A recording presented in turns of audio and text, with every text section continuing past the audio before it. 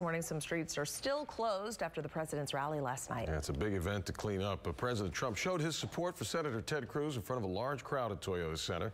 Uh, not just inside, but outside as well. Channel 2's Rose-Ann Aragon live downtown with the cleanup still underway. Ro, good morning. Good morning. That cleanup, like you said, is underway, and these streets will be closed throughout the morning until crews can get to them and clean them up.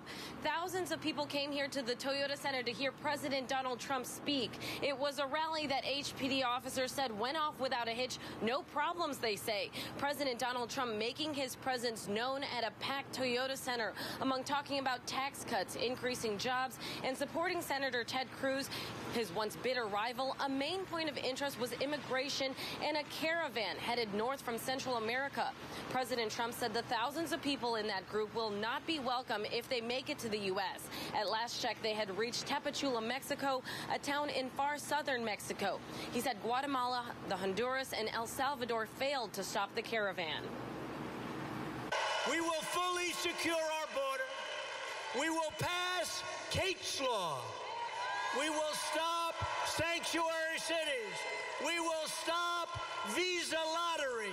We will end chain migration. And we will keep the criminal drug dealers, predators, and terrorists the hell out of our country. Now, the president also stated that the U.S. may be cutting or reducing aid to those countries that let those refugees escape. Reporting live downtown, Rose-Ann Aragon, KPRC, Channel 2 News.